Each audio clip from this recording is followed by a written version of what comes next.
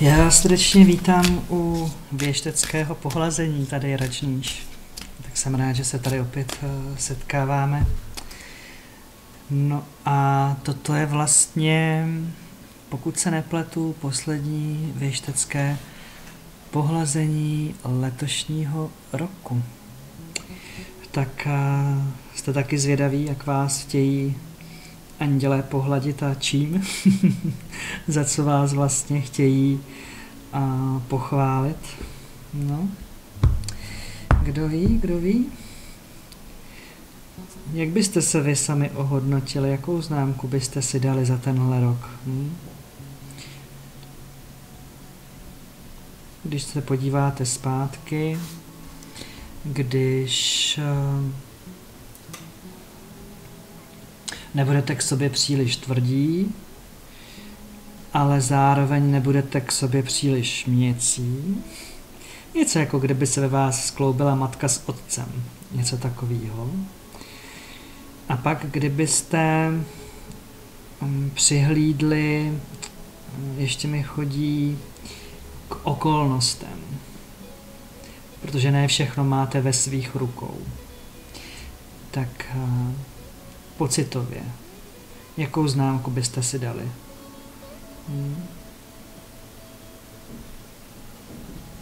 A když byste tu známku měli transformovat do nějakého slova, tak jaký slovo by to bylo? Nemusí mít zrovna logiku k tomu číslu. Může to být naprosto nesouvislé slovo. Jaké vás napadá? Hmm. A jakou barvu by to slovo mělo? No, víte? Pokud už víte, tak je čas se podívat na to, co ty andělé pro nás mají za poselství. Kdo ví? Třeba jste se trefili. Kachiel. A nechci říct, že jsem si to myslel. Protože skutečně ještě než jsem tady vůbec vzal ten balíček do ruky, tak mi pinkal v hlavě o 106 Kachiel. Jednak protože Kachiel je kartou duchovního růstu, který není jednoduchý a vlastně jsem vás tak trošku nabádal k tomu, abyste a právě z toho důvodu byli k sobě i laskaví, že ne všechno máme ve svých rukou, protože ten Kachiel říká, že je důležitou součástí té cesty, nebo bylo důležitou součástí té cesty, přestat se vyhýbat bolesti. Ta, ta bolest je způsobena tím, co nezískáváme, nedostáváme a vzniká v nás určitý vnitřní tlak, negativita, kterou pak odevzdáváme ať už formou hněvu, anebo tím, že ji prostě skutečně tu bolest odevzdáme a nahoru. Takže ten kachyl nepřichází náhodou. Taky říká, že ten rok nebyl jednoduchý. Což to se říká vůbec, ale řekněme, že i teď, v tuhle chvíli, je potřeba ještě za všechno znovu poděkovat. Hmm. No jo, je to potřeba. Aspoň já tam cítím ještě určitou rezervu. Nemyslím teď ve vztahu vy a váš postoj, ale třeba na, své straně. Jo? Že vím, že ještě tenhle rok něco v tom poděkování budu muset udělat. Napadá mě, jestli je něco ve vašem životě, co byste mohli odevzdat. Jestli je něco, co byste mohli, řekněme, vyměnit za něco, co si přejete. Tady to musí být něco, s čím máte poměrně dost velký problém se rozloučit.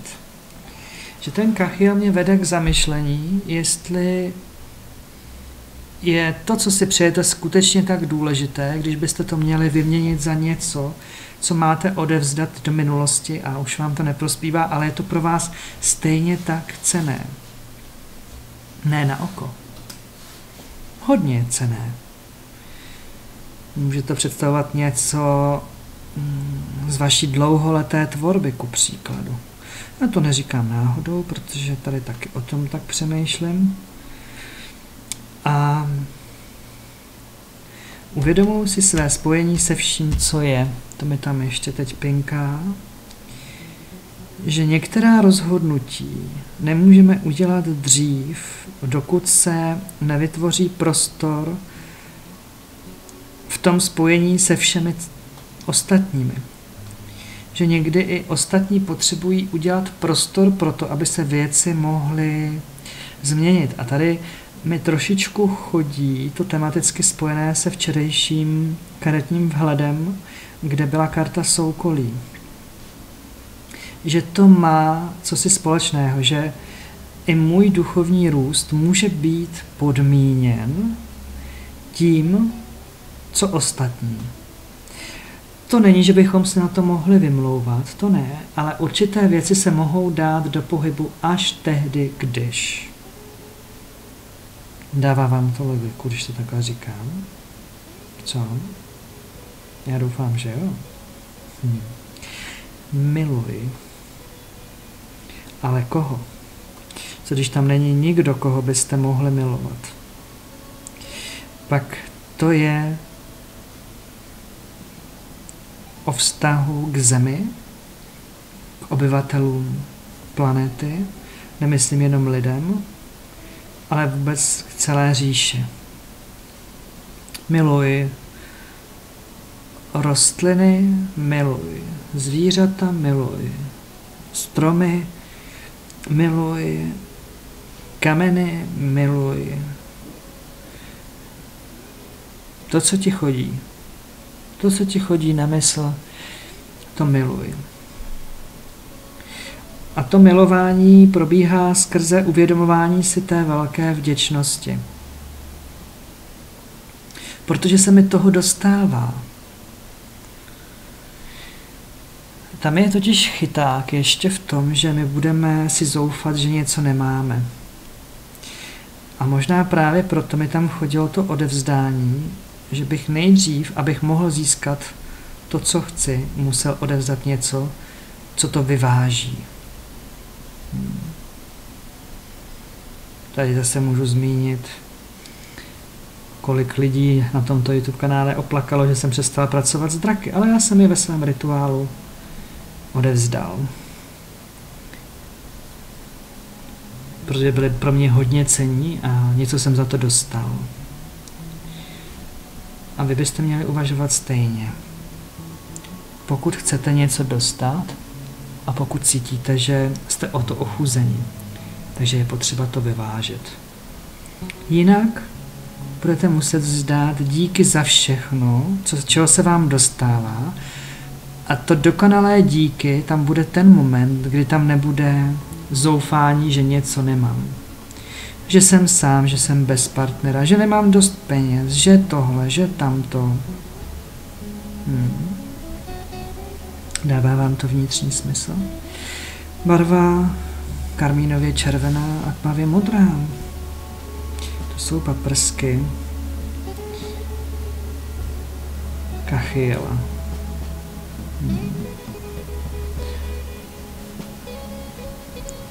Zkuste se na ně ještě chvilinku naladit.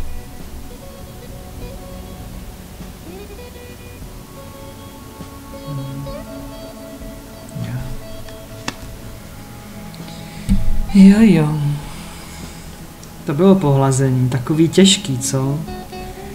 No, možná proto, abychom ho cítili. Že někdo položil ruku na naši hlavu a že nás trošičku povískal ve vlasech. Je to takové to japonské ťapkání po hlavě. tak mi to přijde teď. Jak to bývá v těch animovaných filmech. No a my se uvidíme. Kdy my se to uvidíme? to už záleží jenom na vás, kolik máte času a chuti. Mějte se krásně.